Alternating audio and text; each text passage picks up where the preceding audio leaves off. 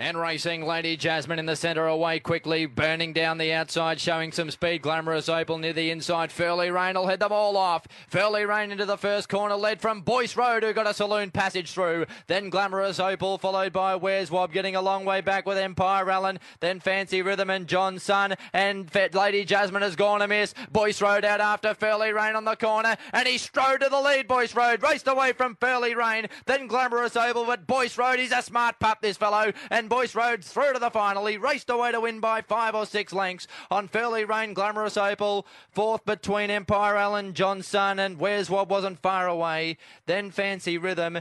And unfortunately, Lady Jasmine has gone amiss. And the winner's gone 29.70.